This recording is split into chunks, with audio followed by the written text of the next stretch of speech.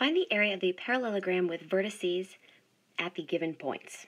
So we have 0, 0, 2, 7, 9, 2, and 9, 11, 9. So let's start by sketching a graph of this. So we have our first vertice is at the origin. We have another vertice at 2, 7. So right about 2, 8. So right about here at 2, 7. We then have another vertice at 9, 9, 2.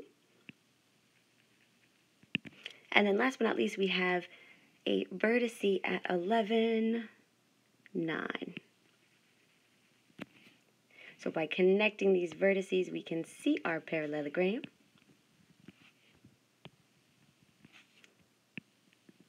And so we are trying to find the area of this shaded region. So in order to use the determinant here, we need to define a matrix for this parallelogram. So we have our first column vector here at 9, 2.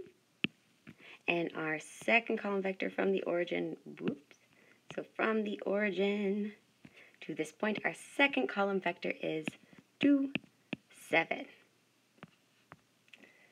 So therefore, our matrix A is defined by the 2 by 2 matrix 9, 2, 2, 7, and we're ready to go.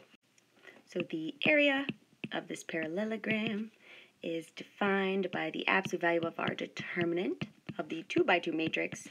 So this is the absolute value of 8 times, excuse me, 9 times 7, which is 63, minus 4, which gives us 59. So we can say that therefore the area of the parallelogram is 59 square units. And that is our beautiful final answer.